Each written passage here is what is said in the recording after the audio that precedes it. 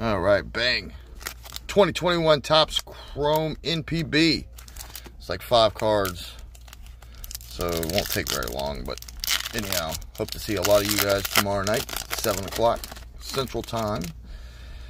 see if we can pull like an auto or something cool out of here, because I know I'm going to kill these names.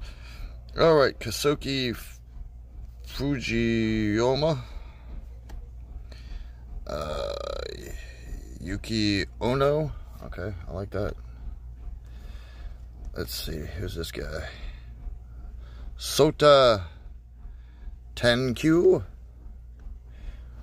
Take all this time just to do it.